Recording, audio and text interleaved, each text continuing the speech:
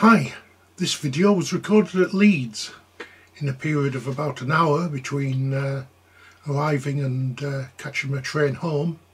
It was just the start of the rush hour so things started to get busy. Good variety. Hope you enjoy.